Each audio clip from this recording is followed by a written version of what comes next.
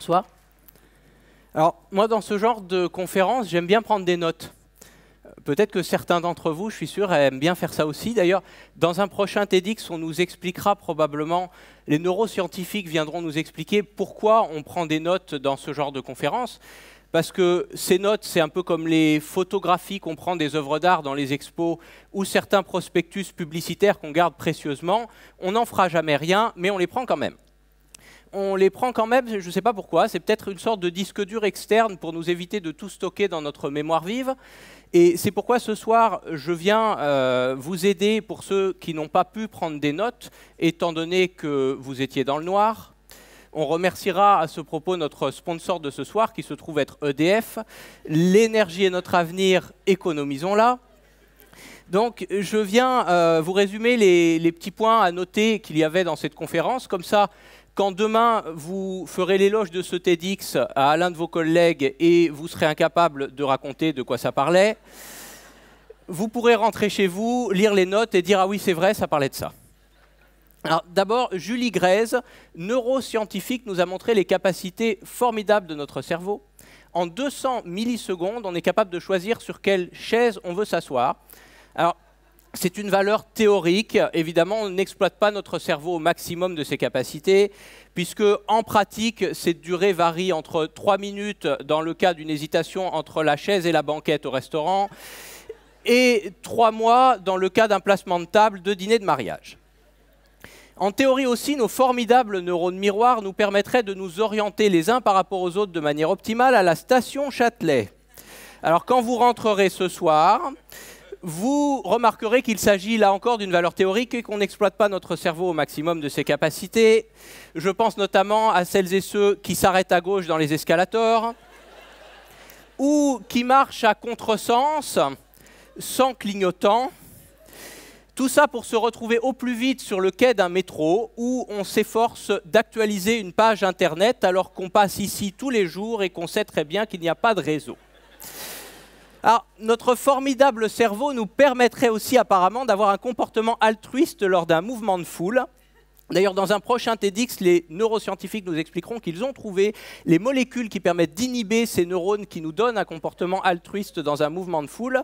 Ces molécules sont présentes dans le Nutella en solde. Il, existe également une façon de faire ça de manière acoustique en employant la fréquence acoustique euh, d'une sonnerie de porte de métro qui va bientôt se refermer. Alors si notre cerveau exploite si peu toutes ses capacités, c'est parce que comme Sébastien Boller nous l'a expliqué, nous sommes des génies imbéciles. On est câblé comme ça, notre cerveau contient une partie génie et une partie imbécile, le cortex et le striatum, donc une partie qui conçoit les Airbus et une partie qui conçoit les plateaux repas qu'on nous sert dans les Airbus une partie qui ajoute un pilote automatique capable d'atterrir tout seul et une partie qui supprime la rangée de fauteuils numéro 13 parce que c'est plus sûr. Et le problème, c'est que la partie imbécile devient, comme c'est bien souvent le cas, le chef de la partie génie, ce qui nous pousse à des catastrophes. Il nous a donné un chiffre. Regarder des vidéos porno sur Internet représente 35% de la pollution du trafic aérien alors, dans un prochain TEDx, les statisticiens nous expliqueront comment ils comptabilisent dans cette statistique les gens qui regardent ce genre de vidéos dans les avions. Parce que ces gens sont, vous le savez, très difficiles à recenser, étant donné que pour une personne qui a le courage de regarder 50 nuances de grès, il y en a une dizaine qui inclinent leur tête entre les fauteuils pour essayer d'en voir aussi une partie.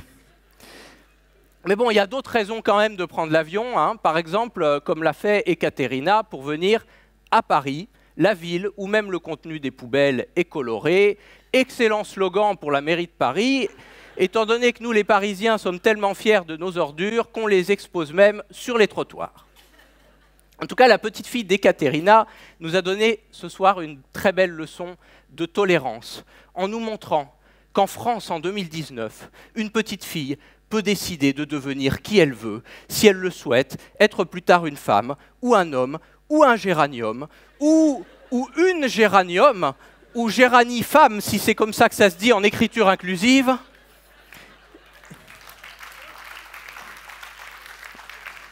Donc j'attends impatiemment le prochain TEDx où on nous expliquera comment réagir si, à l'inverse, ce sont nos plantes vertes qui veulent devenir des enfants.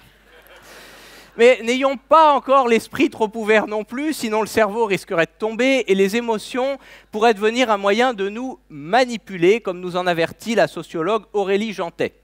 Les émotions sont un moyen de domination sociale. Il y a des émotions réservées aux riches et d'autres pour les pauvres.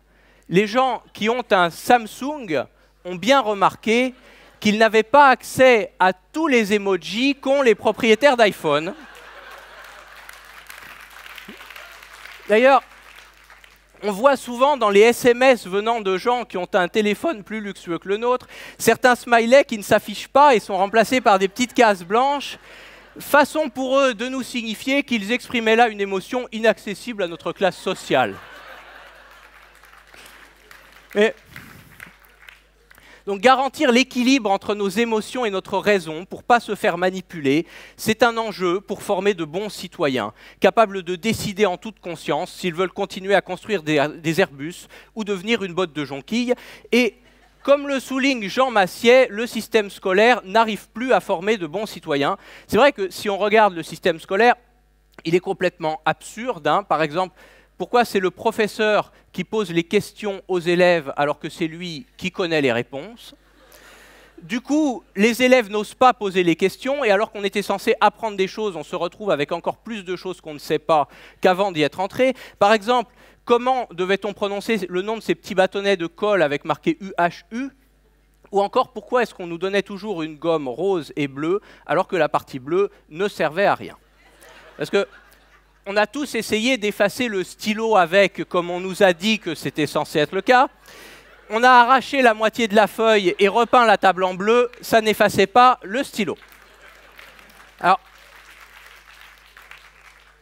moi j'ai une hypothèse à quoi pourrait servir cette gomme comme ça, avec une partie molle euh, qui, se réduit de jour en jour, qui est rose et, qui, est, molle comme ça, et une partie bleue qui se durcit et qui ne sert à rien. Hein, je pense que c'est peut-être euh, une allégorie de la politique française.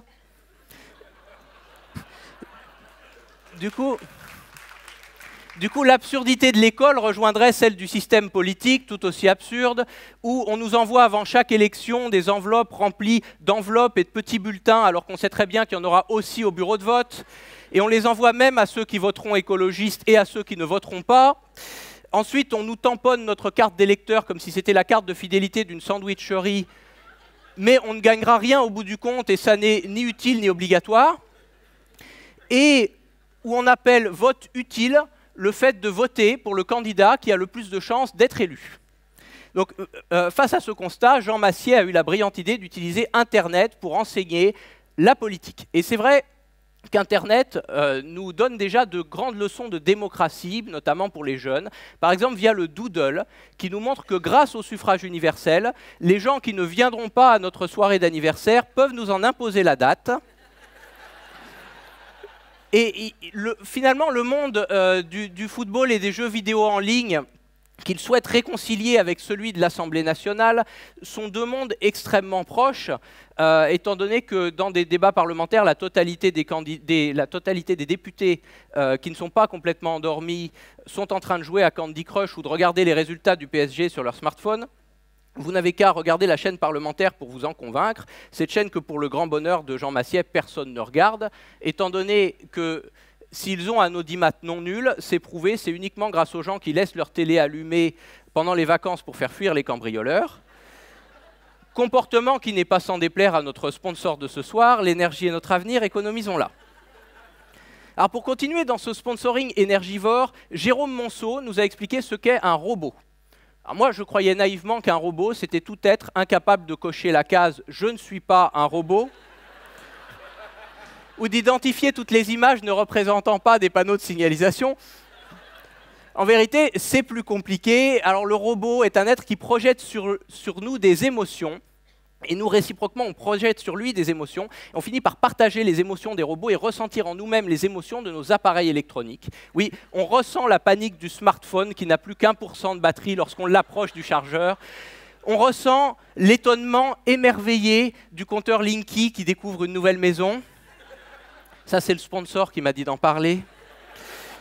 Donc, J'attends impatiemment le prochain TEDx où, en appliquant l'analyse d'Aurélie Jantet aux théories de Jérôme Monceau, on nous expliquera qu'on peut se rendre compte que les robots ont différentes émotions eux aussi selon leur classe sociale et que celui qui fait la neurochirurgie n'a pas les mêmes émotions que celui chargé de battre des œufs et où on nous expliquera comment, parti de ce constat, on peut quitter notre job en audit financier pour ouvrir un espace, un espace disruptif de co-living innovant, où le micro-ondes chargé de réchauffer notre quinoa locavore aura les mêmes émotions que le Macintosh euh, Made in France destiné à en publier les photos sur Instagram.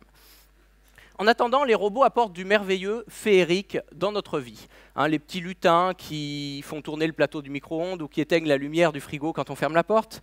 Mais aussi toutes ces petites attentions où le robot croit être très gentil avec nous, mais où c'est juste très gênant. Par exemple, quand notre ordinateur, convaincu de nous faire plaisir, nous suggère les vidéos que l'on pourrait aimer compte tenu de notre historique. Tout ça uniquement pour nous gêner lorsqu'on veut montrer une vidéo YouTube à un collègue et que s'affichent plein de suggestions de vidéos qui représentent euh, une bonne partie du trafic aérien. avant l'époque de la poésie des robots, les humains étaient obligés de faire la poésie eux-mêmes, c'était plus difficile, notamment un certain Victor Hugo, dont M. Victor Ovitch, le descendant, nous a dévoilé les secrets argumentatifs. Donc pour faire un bon discours façon Victor Hugo, il faut des images, des descriptions, du storytelling, ce qui veut dire que s'il écrivait aujourd'hui, Victor Hugo posterait sur Instagram, sur Twitter et en story Facebook. Il serait un excellent communicant qu'on aurait sans doute invité dans un prochain TEDx. Donc maintenant qu'on a appris un peu ses secrets argumentatifs, on pourrait imaginer ce qu'il aurait peut-être pu dire pour finir ce TEDx. Ô discours inspirants, ô noble neurosciences, ô penseurs de haut rang, tribun plein d'éloquence, dans cet antre, peuplé d'ambitieux start vous avez décrypté nos joies, nos cris, nos peurs. Vous jetiez votre éclair de Microsoft Office sur nos sombres mystères, clarté révélatrice. Vous nous avez montré comment notre cervelle nous fait trouver jolie la couleur des poubelles et comment le cortex soumis au striatum fait jaillir du silex le secret de l'atome puis comme tout génie qui, hélas, a ses bornes, gâche toute notre énergie à regarder YouPorn. Mais ce qui fut, je crois, votre plus beau message, c'est que tous vos émois, les mots, nous les partagent. Et ce soir, des discours nous ont laissé pantois, faisant l'aller-retour entre l'émoi et toi. Merci.